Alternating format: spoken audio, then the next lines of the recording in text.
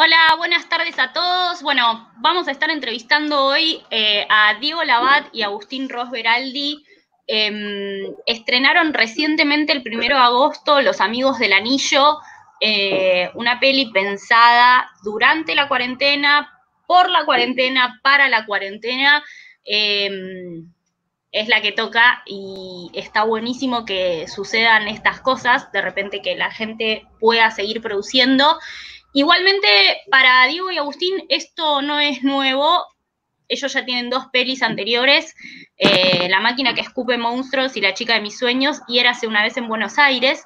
Y con su primer peli hicieron algo que en ese momento era innovador, que fue eh, básicamente crear una página a donde la gente podía ver la peli gratuitamente eh, y online algo que ahora es muy común, pero que en ese momento, tal vez, eh, si no me equivoco, en el año 2012 no era tan común, no era algo que se veía todos los días.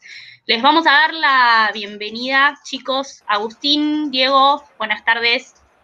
Hola, ¿qué tal? Hola, Hola ¿cómo están? Muy bien, muy bien. Bien. Bueno, me alegro. ¿Puedo eh, preguntar eh, algo antes? ¿Por qué eh, Diego te llamas Brad Pitt en tu, usuario, digamos. no sé, me pareció. Siempre le dicen que es parecido, sí. Es ah. parecido y nada. ¿Para qué negarlo? Ok, te, paran mucho en la calle, puede ser. No con el barbijo tanto ahora, pero normalmente sí. Muy bien. Tiene, tiene, tiene un aire. Em, Sobre todo cuando fuma, es, es igual a. Sí. Es igual, claro. Sí, no, no, es imposible negarlo. Chicos, para arrancar. A, a, más a Brad Pitt en Benjamin Button, pero al principio. Claro. buena referencia. Es una gran referencia, sí. Para arrancar un poco por ahí estaría bueno saber em, cómo surge la idea de la peli, eh, que se, digamos que la, se pensó, se produjo, se escribió todo en cuarentena. Entonces, por ahí charlar un poco sobre eso, cómo se les ocurre. Sí, de hecho la empezamos a escribir hace tres meses y medio, ponele. Así que sí, es, muy, muy reciente. Ya, o sea, no, tuvimos tiempo de olvidarnos cómo fue. Eh, en realidad, siempre veníamos como charlando con Diego de, bueno, hagamos más proyectos. Después de que yo me fui de Buenos Aires, eh, la, la, parte de escritura fue más compleja porque era como, bueno, tenemos cinco o cuatro horas de diferencia, depende qué momento del año. Y, nada, bueno, eh, la cuarentena es como que nos puso a todos en la misma página y de, bueno, están todo el mundo en su casa, eh, las distancias en realidad ya dan lo mismo si estás a 5 cuadras o a 10.000 kilómetros.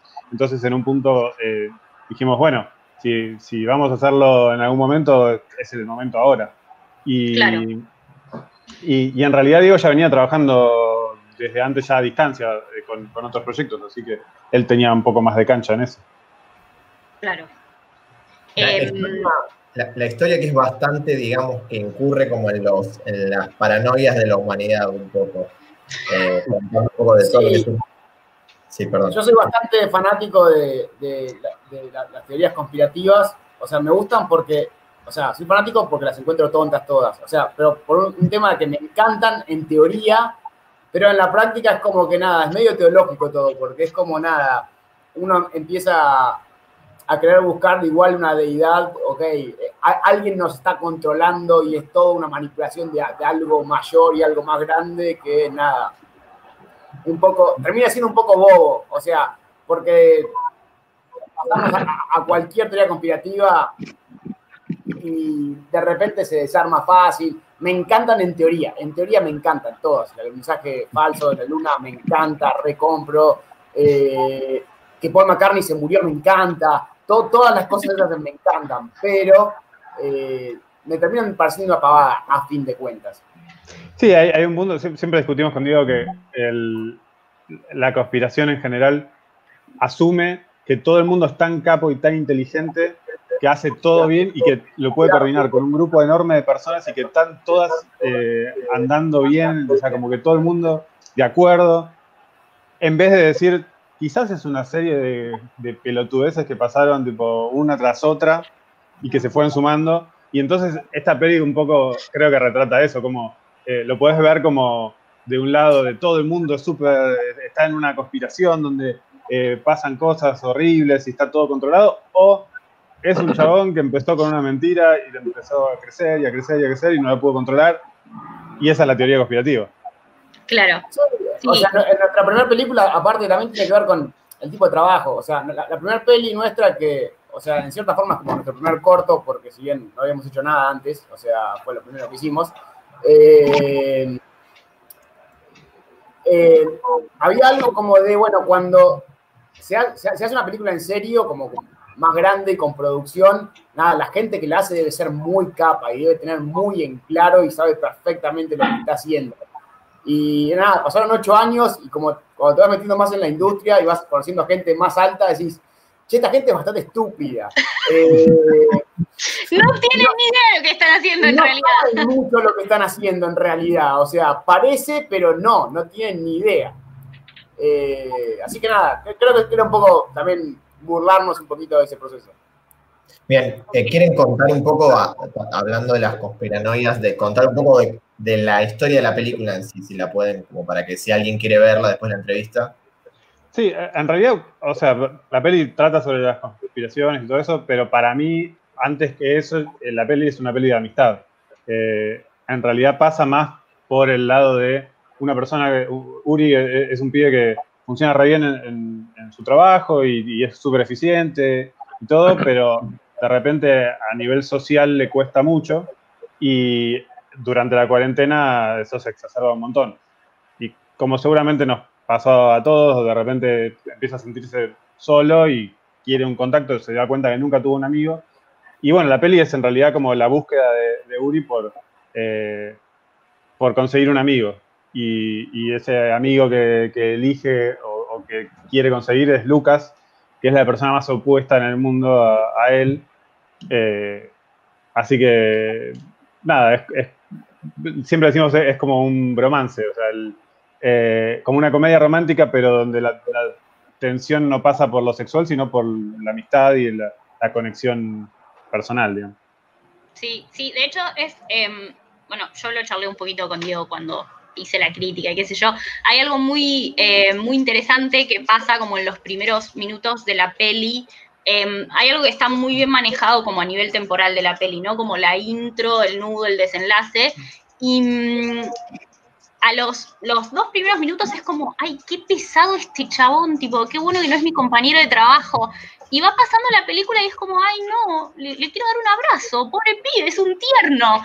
Eh, y hay algo que está como muy bien eh, e, en eso y, creo que hacer una peli de amistad también es como, generalmente vemos películas de romance, de amor, de, de amor eh, romántico, por decirlo de alguna manera. Y no son tantas las que se dedican a la amistad o a tratar estos temas, digo, que son cosas que pasan. Hay gente que por ahí, por alguna razón u otra, eh, llega a la adultez y no tiene tantos amigos y nada, como es un tema súper fuerte para hablar, como qué pasa cuando te pasan estas cosas, digo, y son cosas que no pasan solo en la cuarentena. Ahora está todo exacerbado, pero bueno, eh, hay gente que está muy sola y como que es muy lindo como intentar abordar a esos personajes que intentan generar nuevas amistades. Em, pero volviendo un poquito a las conspiraciones, a las teorías conspirativas. no, de nada. Eh, se, basaron, yo, perdón, pero no pude dejar de pensar en un, este, en un caso bastante reciente. Se basaron como en algo, como en algo real, en algo que habían escuchado. Digo, más allá de que últimamente estamos escuchando como muchas teorías conspirativas por el contexto en el que estamos. Digo, ¿se basaron en algo particular o fue algo que fue como surgiendo en, la escritura? Eh, mira, por un lado creo que eh, hay, hay, referencias más en lo que, lo que vimos en la, cuando empezamos a escribirlo, eh, en, cuanto a pelis, series y, cosas, y también en, ver que todo el mundo estaba pasando por algo similar, o sea que por el lado, de vuelta por el lado de la amistad quizás y la soledad, viendo que gente se sentía sola de verdad y, como tomando elementos así de gente que conocemos. Y en cuanto a la conspiración, siempre estábamos, de hecho, intentando escribir antes de, de esta peli una peli sobre Anonymous que nos parecía como fascinante eh, todo ese mundo del, hacker que, está como que tiene como un, propósito de, protesta, pero, pero en realidad como imaginándonos que, cómo sería como Anonymous en Argentina. Y, claro, era, como un falso documental de Anonymous, básicamente. Y queríamos nada, que estén todos los personajes con máscaras todo el tiempo y tomando mate con la máscara y con veces por el estilo. Eh, como nada, sacándole un poquito el, la magia que, uno ve cuando ve, no sé, ve comunicaciones, comunicaciones anónimos, que uno dice, uh, no, esto es, es re heavy y tiene la re posta y por ahí sí, pero por ahí no, por ahí. por ahí es un chabón como Uri que de repente encontró algo y empezó a mentir al respecto y, ah, bueno, ahora tengo que hacer el video. Igual por las dudas, si alguien está virando esta entrevista, Diego Labat se llama el que dijo las cosas sobre Anonymous. Pará, igual, eh, justo estaba viendo en, no sé dónde que, porque yo pensé que era un meme que habían sacado de una mina que había hecho una miel que se llama Miel Gibson, eh, que es un abrazo, y que la demandó, Miel Gibson la demandó. Sí, no. sí, sí, no, no dejan hacer mil, ya te quieren cobrar por el nombre, no puede ser. Así que espero que Brad Pitt no me quiera joder por esto. hablando un poco, perdón, Lirito, que te interrumpa, hablando un poco del proceso, digamos, de, de, cómo hicieron la peli, porque no debe haber sido, o sea, bueno, todos entendemos de que estamos aislados y demás, pero no debe haber sido eh, fácil dirigir una película por videollamada. O sea, ¿cómo fue, cómo se organizaron? ¿Si les costó al principio? ¿Si le encontraron la onda después? ¿O fue todo? hay algo que por ahí no, queda claro viendo la peli así nomás, es que la, gente, o sea, los actores nunca se vieron mientras estaban actuando. O sea, no compartieron escena en el momento. Eh, o sea, que actuaron contra la nada misma. Y eso para mí es, increíble el, laburo que hicieron, teniendo en cuenta que nada, que, que no tenían a otra persona como para devolverles en el momento. Eh, toda la, parte de dirección y de, y ensayos la hicimos previa a los momentos de rodaje. Eh, nos juntábamos como charla por Zoom con, los actores involucrados. Hicimos también una lectura de todo el guion con todo o la mayor parte del equipo. Y, ese tipo de cosas como que nos ayudaron también a, poner el tono que iban a tener los personajes y, como el, ritmo también, porque tenemos también siempre un ritmo bastante acelerado, y medio particular nosotros. Eh, y queríamos como eh, decirles a los actores como, bueno, vayamos por este lado, pero después todo, todo eso fue como las conversaciones previas. El momento de rodaje es la magia del actor siendo increíble. Sí, también, o sea, eh, hay algo que, bueno, Gucci ahora es animador, pero originalmente era montajista y yo, yo soy guionista y es como que en realidad también la dirección, nunca, nunca fuimos directores, como si bien dirigimos películas, eh, no somos del mundo del palo de la dirección. Y acá es como que de repente era como que todo pasaba por el guion y el montaje, o sea, como que estábamos en nuestra salsa, en cierta forma. Y, encima, o sea, los dos laburamos en, animación, en, diferentes eh, aspectos de la animación, pero la animación hoy en día sigue funcionando porque no, eh, no requiere de actores, eh, no requiere rodajes, no requiere nada. Y hay como una forma de, de, de mecánica de trabajo bastante similar, en cierta manera, como que se puede ir, eh, creo que tomamos bastantes cosas de ahí para hacerlo funcionar. Ok. Y, el tema de, perdón, y el tema de la luz y demás, ¿eso cómo hicieron? de que los actores, de que los actores se pongan la cámara de esa forma, que pongan la luz, que se sitúen, eso fue como... Bueno, eso lo íbamos chequeando justo antes de, tomar, de tirar toma nos mandaban como un par de, fotos o de, capturas de, bueno, estoy por hacer esto, ¿les parece? Eh, pero de vuelta, la verdad que el, 80% del laburo de todo eso fue de, los actores. O sea, no, nosotros podemos decirle en un celular que nos manda una foto, ok, sí, move la plantita para la derecha, pero eh, la gran parte, la gran mayoría de todo eso fue de los actores. Teníamos eh, ayuda de, de Jimena Mejuto, que fue la directora de arte, que charló con ellos en paralelo también sobre vestuario y también sobre ambientación, que nos vino bárbaro porque le, dio como otro nivel a, la peli de lo que hubiéramos podido conseguir eh, solamente como cinco minutos antes de tirar la toma. Sí, de hecho, creo que está bastante bien lograda la ambientación. Eh, tal vez las que, más se notan son eh, la de Uri y la de Lucas. Y en la de Uri está bastante bien trabajado como el paso del tiempo. Digo, no solo, está bien, no solo que, que, se indica en la película, sino que está bien, bien laburado el tema de la luz respecto del paso del tiempo. Y bueno, después como las otras ambientaciones eh, de la hermana de Uri y, etcétera, el resto de los personajes eh, realmente están como súper bien trabajados. Tuvieron que hacer como, es, es, no sé, a mí me parece como muy extraño cómo es, cómo es este proceso de, de crear una peli eh, en un momento en el que uno básicamente tiene que evitar salir de su casa lo más posible. O sea, tuvieron que además enviarles como cuestiones técnicas, tipo, no sé, cámaras a los actores, vestuario, etcétera. Lo resolvieron un poco y un poco, un poco tenían ellos, un poco les mandaron ustedes. ¿Cómo, cómo fue eso? ¿Fue muy complejo? En realidad también hay algo en Argentina que, está re bueno, especialmente con los, actores y actrices que contamos, que eh, medio que acá todo el mundo todo terreno. Eh, y la gran mayoría de actores y actrices tienen una noción bastante clara de lo que es una puesta de cámara y, cómo hacerla.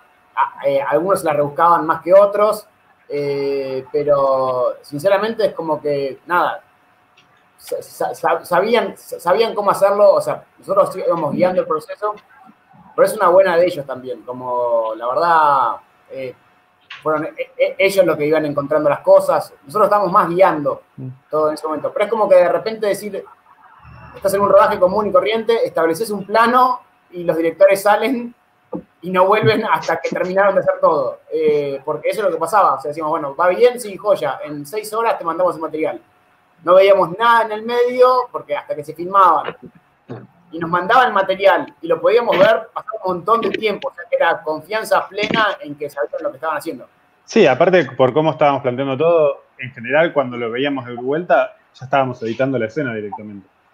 Eh, como que no, no había, hubo, hubo, muy poco retoma de cosas, dos, tres cositas, pero eh, una vez que se filmaba era directo a edición y ver cómo hacer para que funcione. Y la verdad que nos quedamos súper contentos con eso, porque... Eh, y, también funcionó como como experimento, como qué, tanto puedes hacer funcionar un material que por ahí a primera vista decís, uh, acá estaría bueno que hubiera hecho tal otra cosa, no sé, como hubiera estado bien, si, hubiera estado yo ahí le marcaba tal cosa.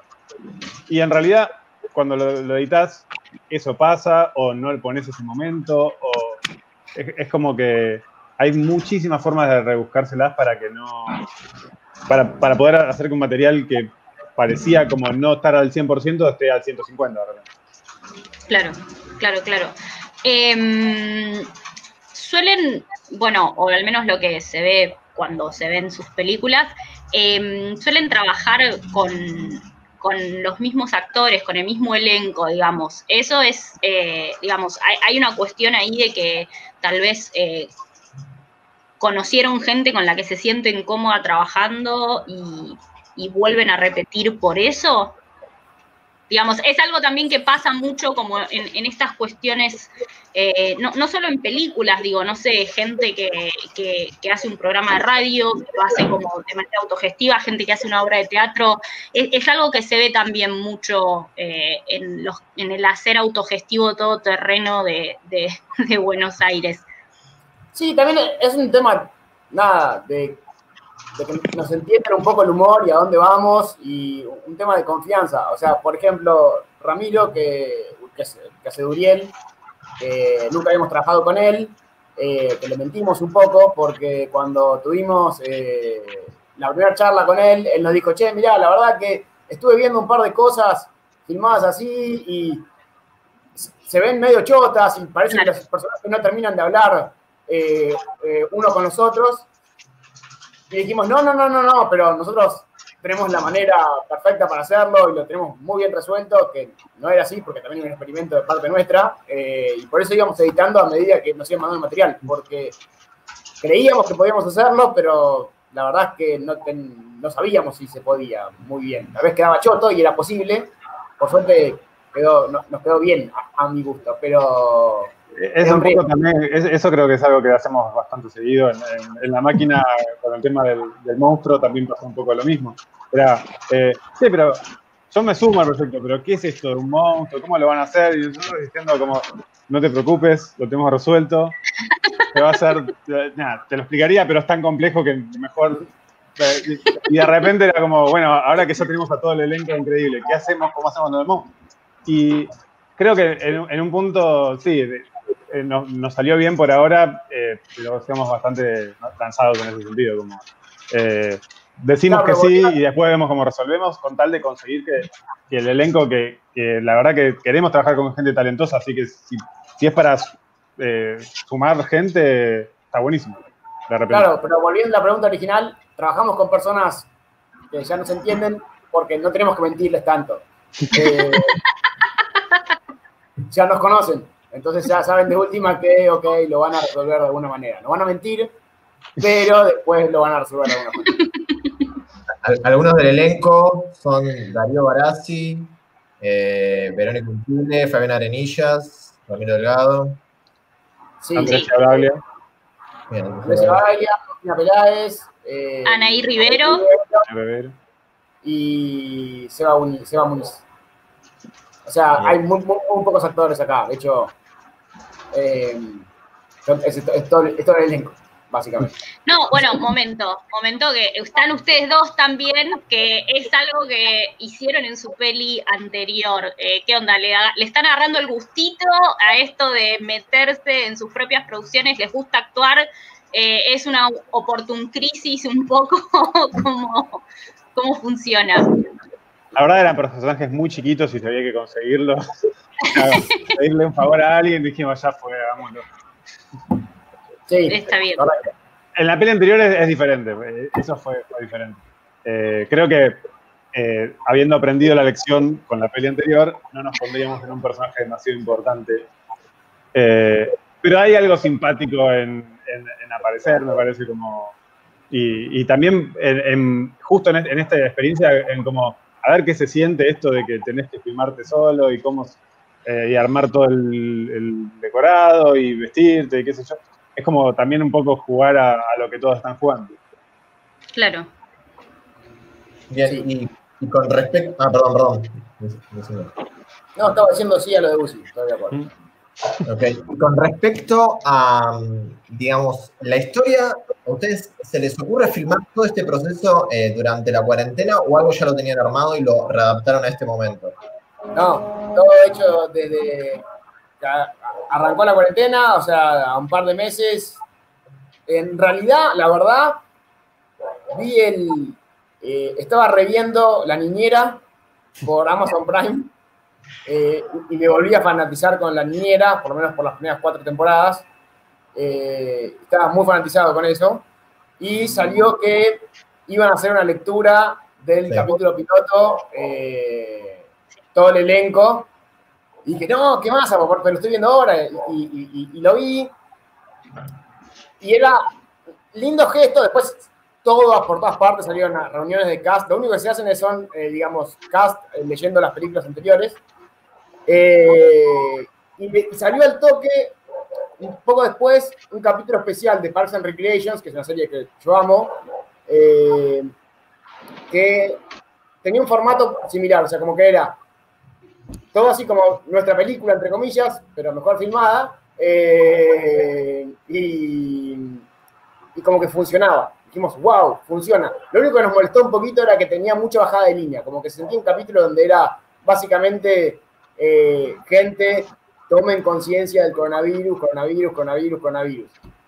Y con eso como que dijimos, che, mirá, se puede hacer, se puede contar una historia de esta manera y que funcione. O sea, no la hagamos del coronavirus, pero pero podemos hacer. claro, y era bueno, nada, y pensamos qué historia podemos contar con las limitantes que es solamente pantallas.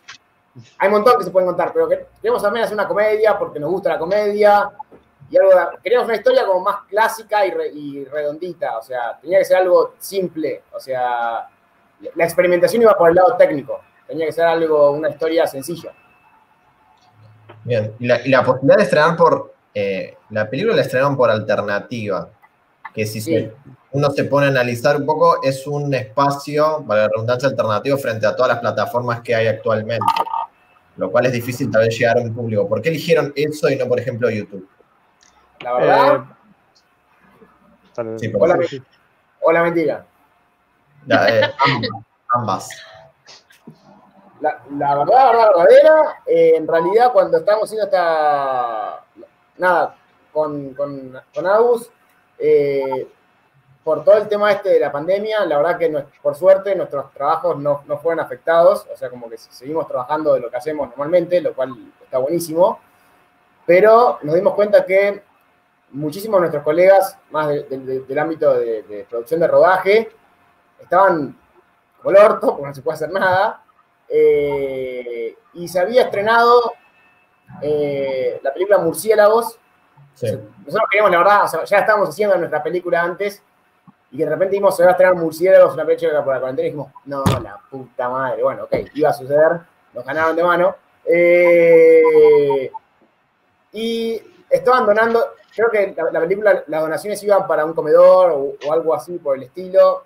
Y nosotros dijimos, está buenísimo eso, pero también está bueno como que la gente del equipo técnico y los actores, o sea, no tiene a nadie en este momento que, lo, esté respaldando y queríamos un lugar en donde ellos puedan cobrar por, este trabajo. Y, alternativa, en realidad, era un lugar en donde nos permitía poner un precio a la gorra y distribuir eh, lo que se recaudaba pura y exclusivamente a ellos. Bien, perfecto. todo, lo que se recauda por la función va dedicado a los actores y técnicos que trabajaron en el servicio. Claro, y se puede hacer en otras plataformas, pero la verdad que pensamos en el momento que era la, que era más fácil este tipo de distribución y que no tener que poner todo en una misma cuenta y después distribuirlo por nuestro lado, como que era más, eh, lo tenían más pensado. Igual, justo también Alternativa quiso en ese momento cambiar de, eh, de, cara, o hizo un lavado de cara para dejar de hacer solo teatral y pasar a hacer eh, hostear streaming y y nada, bueno, como que nos, vino bien también eso. ¿Y la mentira? La mentira porque es un espacio alternativo recopado eh, y nos pareció muy bueno por ahí. Bien, bien, Igual, igual está, está interesante la forma en que se estrena la peli, que uno la tiene, se, estrena a tal horario, paga como una entrada, es, se hace acordar algunas cosas de cuando iba, había un poco de. Está bien, igual, está muy bueno. En realidad también hay algo que pasa, nada, cuando, estrenamos la máquina hace ocho años, como eh, dijo y al principio, no había mucho de eso en, ese momento, era una re novedad, o sea, una película online para ver de manera gratuita en una página. Hoy nadie te va a una página a ver una película, o sea, exclusiva. Nosotros queremos tener una sala de cine propia, como en nuestra página, pero es algo que no funciona. Eh, como que si la tirás en YouTube, que fue lo que pasó con, con Érase, hoy en día se muere. O sea, porque hay tanta cantidad de oferta de cosas, de plataformas, hay 10.000 plataformas on demand y es medio, o sea, te juega en contra, estás como que la distribución alternativa termina siendo igual que la, que la normal en, un cine, que te, come el, te comen los monstruos, los, tanques, tanques monstruos. Y hay algo lindo también eh, en, cuarentena de planificar algo. O sea, eh, qué sé yo, eh, mi vieja ve los, los, sábados los programas que hace Casiari y como que es un re programa para ella decir, ok, me agendo, el sábado, tengo un plan de sábado de la noche que, que me es distinto al resto de los días, como que voy a reservar una entrada para ver algo y, hacer algo particular. Y como que está bueno eso, porque si no estás todo el día... Eh, sí, es cuando se empiezan a juntar los días y todo lo mismo. Sí. Sí, sí. Sí, igualmente es, eh, bueno, no sé cómo les, está yendo particularmente a los amigos del anillo, que creo que es como creo, si no me equivoco, es la primera peli que estrenó alternativa después de este lavado de cara. Digo, pero se está dando como un fenómeno, eh, los estrenos por cinear, la, o sea, la están rompiendo. Eh, eso que pasó es como, es increíble, digo, hay un montón de cosas para analizar ahí que no vamos a hacer ahora, ¿no? Pero digo, hay una cuestión que donde la peli por ahí encuentra su cauce, digamos, en plataformas que por ahí no son las mainstream, pero sí son las que se manejan sin negar, bueno, alternativa, que además, digo, hubo ahí un enganche en el que hicieron su lavado de cara y al toque que presentaron el lavado de cara vino la peli de ustedes. Eh, lo mismo pasa con la gente de puentes de cine que tienen como una sala virtual. Entonces es súper interesante esto que se dio de... Em, de alguna manera es como federaliza un poco más, eh, no me quiero poner con palabras medio raras, pero digo, federaliza un poco más el acceso al cine, digo, no en todos lados hay un cine y de repente, bueno, lo que nosotros vimos con los estrenos puntualmente de Cinear es que la gente se sumó y se copó y bueno, nada, esperamos que lo mismo le pase con, nada, con los amigos del anillo, digo, que la gente se sume eh, a verla por, por alternativa. No tengo ni idea si Alternativa seguirá estrenando pelis o no, pero también está bueno tener como otra, otra posibilidad frente, a, a ciertas es cierto y jode, un poco porque por más que sea alternativa, sigue siendo alternativa teatral y de hecho, o sea, hay algo como que ponen los amigos del anillo en alternativa teatral y, no sé, suena obra de teatro de repente, si ok, sea que es teatro filmado, eh, tiene, tiene un, digamos, eh, medio, eh, una, eh, nada, no me sale la palabra, una, contraparte no, no, no, no, no tan copada. El tema con Cinear es que, que si bien funciona bien, Cinear no te paga por el contenido y, es y, es imposible, digamos, hacer esto que queríamos hacer nosotros de de, pagar a nuestros técnicos sectores. Sí, a los efectos prácticos no les, no les servía, igual por entrevistas anteriores recuerdo que tampoco, eh, nunca fue un objetivo de ustedes como pasar, de, hecho estoy segurísima que me lo dijeron en la entrevista que hicimos por Eras una vez en Buenos Aires, como que no era su objetivo pasar por el Inca, pero creo que está bueno como esto, que se generen Em, plataformas alternativas no, no, tan mainstream que también te permitan como acomodarte a, al objetivo que vos querés hacer, que el, de ustedes es muy claro y además me parece recontra válido, este, está buenísimo que, que lo puedan hacer por ahí. Para mí igual, como el estreno de la peli se dio justo después del lavado de cara de alternativa, entonces como quedó perfecto, o sea, quedó como perfecto, digamos, quedó claro que alternativa ya no es más solo sobre teatro, por, por decirlo de alguna manera. Sí, les juego en contra que la página sigue siendo alternativateatral.com, pero... ya cambiaron el dominio. Hablando, hablando un poco de, ustedes, la película habla de la amistad, pero para llegar a la amistad primero se pasa por una conspiración fuerte. Viendo la película, gente que la vio les, les la película trata sobre, perdón, sobre una conspiración del gobierno y la cuarentena y demás en general, aborda un poco el tema ese. Le llegó alguien que le dijo, no, yo creo que es verdad lo de la conspiración, que hay, algo atrás y demás, porque hay varias. yo, estoy, re contento que ustedes nos están hablando de las conspiraciones porque nadie nos habló de las conspiraciones nunca. O sea, de hecho, o sea, que si bien era algo como que era como nada, como el tema de la peli más puesto por detrás. O sea, eh, lo que nos encontramos, que fue una sorpresa bastante gratificante, fue que la gente conectó mucho con la historia y se emocionó mucho con la historia y se olvidó como que nada, como que entró ese mundo y, y no lo vio como una, algo como de, crítica conspiraciones o nada por el estilo, sino simplemente que disfrutaron la película y, por lo general es, eso, uh, que básicamente es lo que nos, importa, nos importaba a mí, Au, como eh, nos importa que conecten con los personajes. Después el resto, genial, buenísimo que lo hayan notado ustedes, por eso me emociona.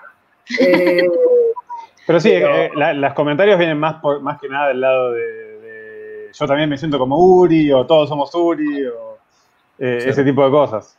yo noté, perdón, quiero hablar porque hace 35 minutos que no digo nada y quiero justificar el canje de, mi marca que me está auspiciando. Eh, no, no, y también para que para que se, note que vi la película también, así no quedo mal con los entrevistados. Eh, no, está... ¿Cómo?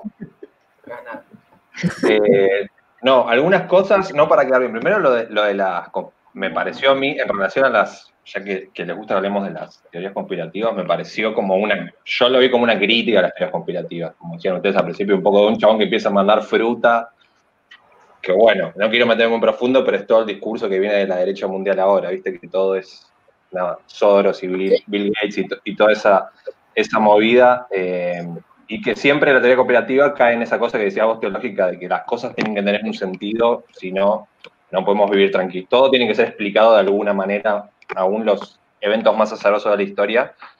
Y después, con respecto al personaje de, Uri, me pareció que estuvo, o sea, claramente es el centro de la historia. Me pareció que la peli está muy buena en el sentido de que es una historia simple, pero que conmueve. Y a la vez es un personaje que noté como cierta cosa del anime, o sea, cierta, no sé, capaz cualquier cosa, como cierta inocencia de un personaje de anime que es como hace todo por tener a su amigo, quizás nada, estoy flasheando una y nada que ver, pero tiene esa inocencia que si el chabón que naciste hace dos semanas, o sea, que no, mí está bárbara y, te viene a pedir cosas y no sé, tampoco el extremo, me, gustó como la, esa antinomia de, del pajero, del amigo de hace dos días pajero que le dice, bueno, la dale, y cómo se desprende a partir ahí toda la historia, me pareció bien resuelta y me pareció, como decían ustedes, que la técnica laburó en realidad para contar una historia. Es como que el centro de la peli es contar esa historia. No sé si estoy diciendo cualquiera o me parece que viene un poco. No, está buenísimo todo lo que, lo que estás diciendo. Eh, lo del anime no, no lo habíamos pensado, la verdad, pero pero lo vamos a empezar a decir lo último. Sí, lo vamos a empezar. No, en, en realidad como, como referencia, no sé, igual tenemos como las referencias que usamos en general siempre son más que ver, tienen más que ver con gente que conocemos o, un monstruo de como una Frankenstein de eh, tal eh, personalidad de tal persona y después con, mezclado con tal personaje que vimos en la tele. Y no sé, yo justo antes de, empezar con esto eh, había ido a ver eh, Dear Evan Hansen, un musical de Broadway que vino acá a Vancouver.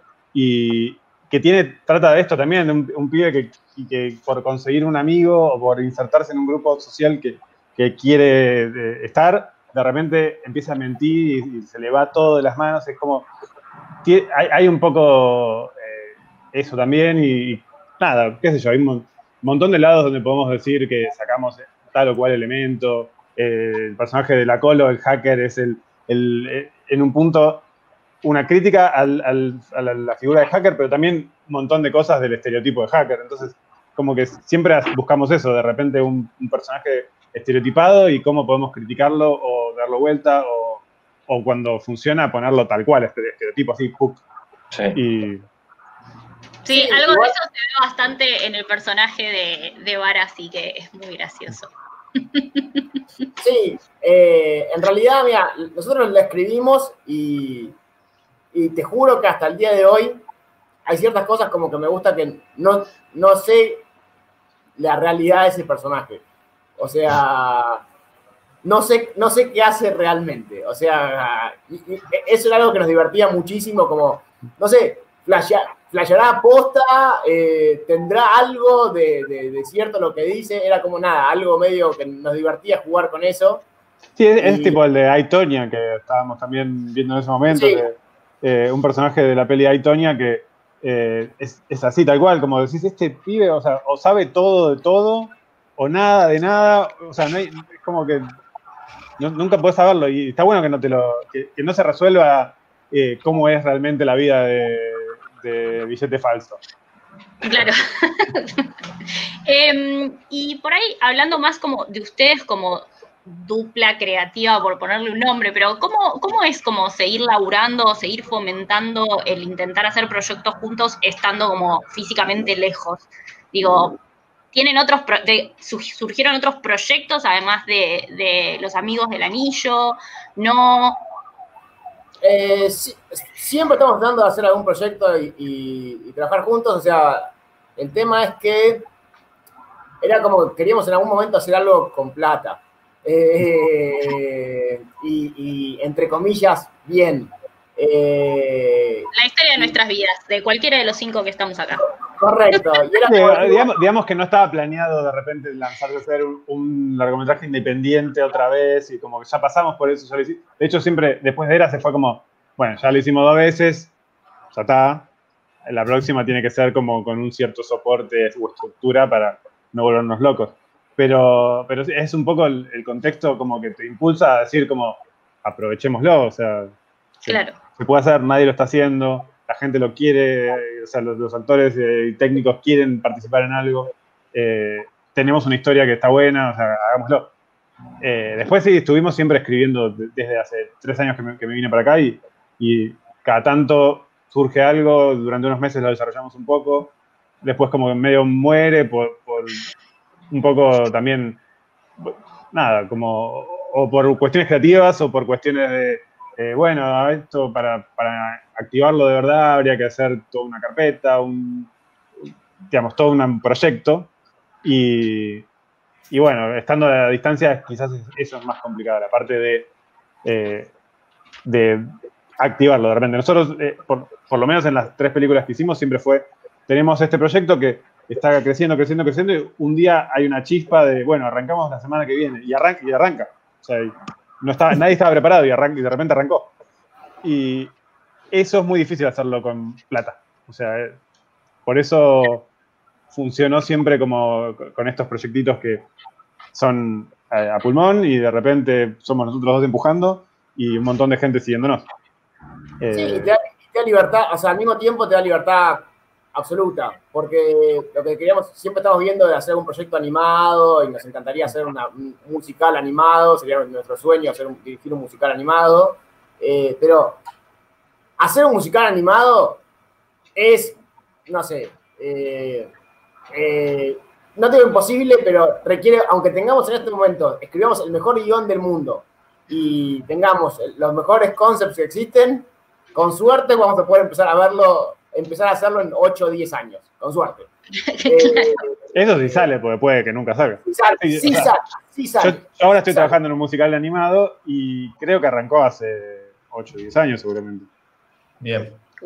O sea que, y, y, en Hollywood, o sea que incluso la gente con plata tiene ese tipo de problemas, imagínate viniendo de Argentina. Eh, ojalá algún día se dé nuestro musical animado. Bien, la película se puede ver en alternativateatral.com. Eh, es a la gorra el precio. Eso quiere decir que se puede poner desde un monto mínimo, que eh, hay unos montos mínimos, hasta un monto máximo que me dijeron. Mucha gente paga, ¿no? Mil pesos, me, comentaron antes de la entrevista. Está muy de moda, está muy de moda pagar mil pesos. Eh, está bien visto también.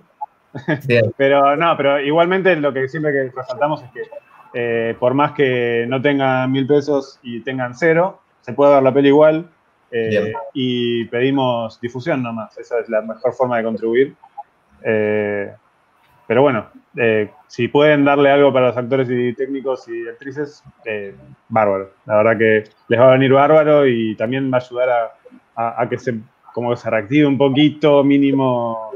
sí, y a, visualizar un poco nada, que se, puede elaborar de otras formas también y, y, hacer las cosas distintas, o sea, aún estando en, eh, en, cuarentena, como que hay otras vías de realización posibles, o sea, y que se pueden hacer y nada, acostumbrarnos a esta, nueva modalidad. De cualquier manera, quiero rescatar que la gran mayoría de la gente, si bien la entrada es a la gorra y el precio mínimo es cero, o sea que uno puede comprar una entrada por cero pesos, la gran mayoría de la gente aporta algo, lo cual es re lindo eso, porque nada, eh, uno puede sacar entrada y valoramos un montón la gente que entra para verla por cero pesos, pero eh, es re lindo ver que la gran, la gran mayoría de la gente que entra colabora. Claro. un, sentido de solidaridad bastante copado. Sí, sobre todo considerando la situación actual y bueno, que... sí, por eso. Estamos todos este, Sí, sí, no, y, y considerando también, digo, como una cadena, o sea, considerando la situación actual y también digo, la gente que colabora sabe hacia dónde va a ir ese dinero que es para, digamos, para pagar el trabajo de los técnicos y los actores que están, digamos, en este momento sin trabajo y que probablemente sean uno de los últimos eslabones en cómo volver a funcionar. Em, bueno, Diego Labat y Agustín Rosberaldi además tienen otras dos películas que yo no me voy a cansar nunca jamás de recomendar, que las pueden ver en Visionar, que es la plataforma de sin subtítulos, pero la pueden ver en un montón de otros lados más también. Creo que están, están en Cinear, están en YouTube, están, eh, están por, por todos lados. Sí, Visionar. es Visionar, que es eh, nuestra plataforma para ver cine eh, y cortos argentinos. Este, allí las van a, las van a encontrar. Em, y antes de cerrar la entrevista, yo necesito ponerme muy seria, porque bueno, eh, muy, muy seria, no, es que ayer em, cuando terminamos, cuando volví a ver la peli por segunda vez y la terminamos de ver, em, me acordé de un personaje que creo que no le dieron la importancia que merece. Eh, es un personaje que puede dar mucho más y yo quiero que la máquina de Monstruos Producciones haga la película de Doyle. Doyle merece su propia película este, Doyle es un gran personaje. Ayer en las 3 de la mañana y estábamos mirando una gran escena que hace con, eh, ay, no me va a salir el nombre del actor, su compañero. ¿Con ¿Cómo? Con Corona, exactamente. En hace una vez de Buenos Aires. Nada, eh, es un gran personaje. Vamos a empezar una campaña para que haya una peli sobre Doyle. La verdad, hace pocos meses estuvimos con la idea de hacer un spin-off de una serie de Doyle o sea, que nos pareció una buena idea hacer una serie con él. Pero las ideas siempre están, de repente nos, la baja la realidad cuando decimos, ok, ¿quién va a comprar esto? Claro, ¿quién va a comprar una serie yo, yo voy a ver una peli sobre Doyle. Bueno, no importa, claro, una persona no cuenta mucho. Pero nada. Pero sí, totalmente de acuerdo. El personaje de Doyle eh, está buenísimo que lo rescates porque justo, justo el único personaje de Grace que iba, que se había ganado en nuestros corazones un dispino. Así que. Sí, sí, sí. Acá en, esta casa también se ha ganado corazones. Este, y eh, ayer hemos compartido videos hacia otras personas porque veíamos en repeat una escena y nos reíamos. Está bien, era las 3 de la mañana, hemos tomado algunas cosas. La escena en la que va a conocer a Doyle y Doyle se le tira encima y después termina con la cabeza así y le dice, escúchame una cosa, pelotudo. es una gran escena. Es una gran escena. y luego toma una bolsa de drogas. Eh, es una gran escena. Bueno, chicos, les agradecemos un montón por haberse sumado a esta entrevista. Y bueno, eh, quedamos, espero que mucha gente vea la peli. Y bueno, quedamos a la espera de novedades de algún proyecto nuevo. Dale. Muchas gracias. Muchísimas gracias. gracias. Un abrazo. Gracias por todo. No, por favor. Chao, nos vemos. Chao, chao. ¿Cómo salgo ahora?